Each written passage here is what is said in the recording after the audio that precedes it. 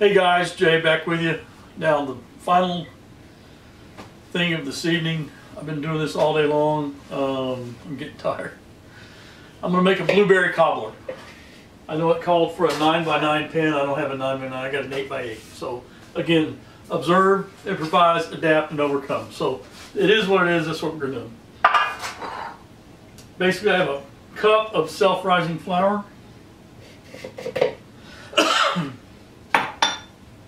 a cup of sugar,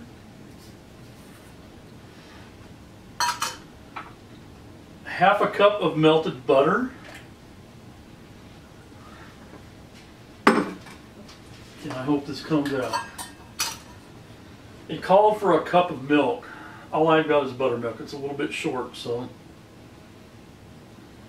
it is what it is. It may be a little dry. I don't know. We're gonna make it work anyway.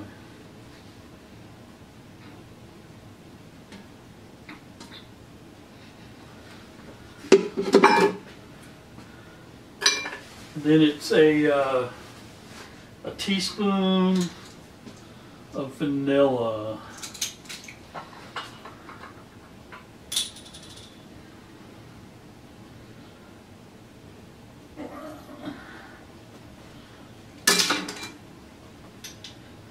And with that,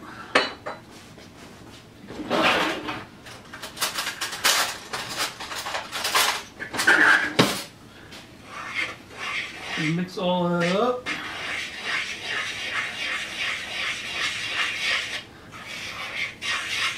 Make our batter.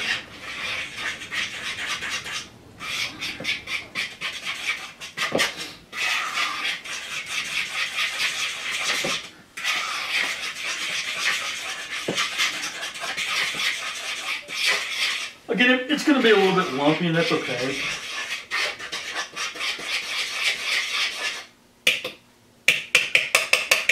Just want to make sure you don't have any great big lumps in there. And I didn't do that earlier. But that's okay. That's what we got.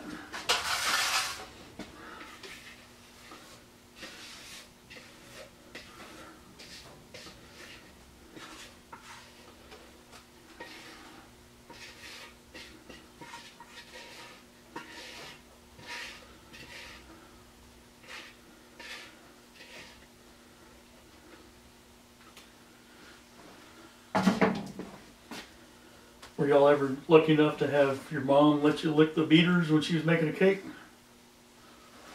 I was. Of course, they frown on that today. Oh, it's got raw stuff in it. You're.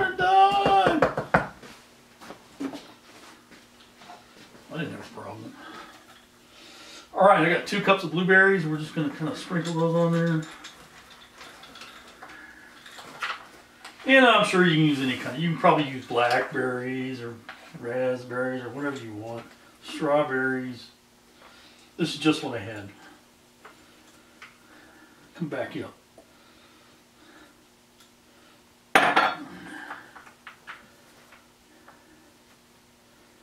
All right, then I'm going to dress those with a quarter a cup of sugar.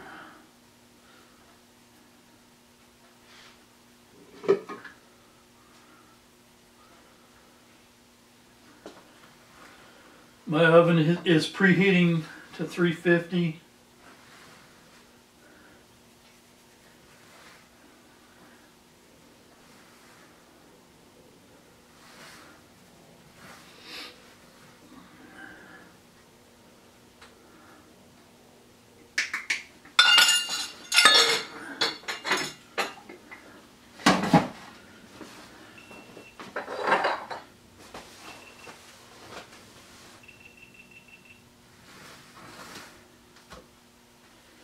As soon as it comes up, all right there, perfect.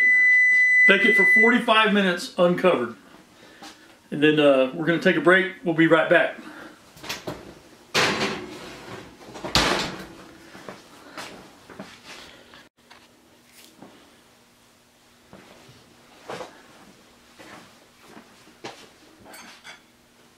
Okay, so here we go. We're gonna try it out.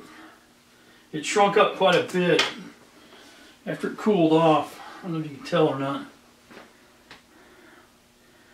So I think putting it in that 8x8 pan probably screwed it up, but I ain't throwing it away.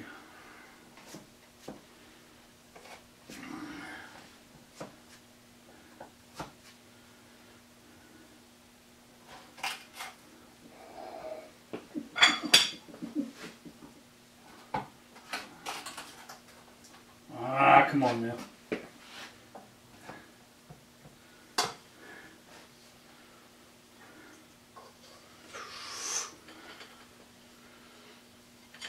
Oh, baby.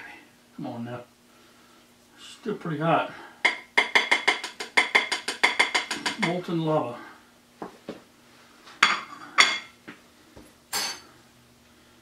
Yeah, I think the uh, 8x8 tin was a mistake.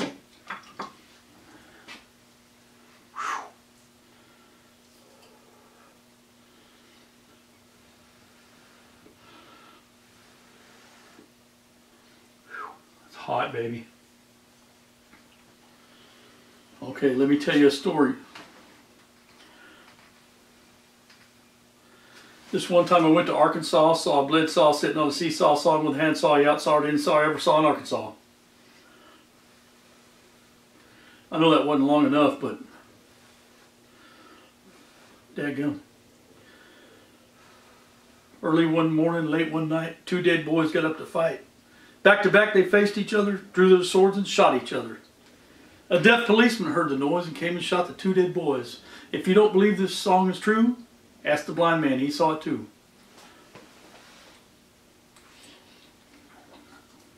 Mm.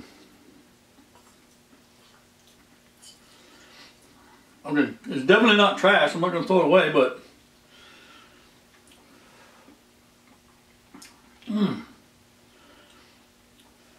It should have been cooked in a longer pan.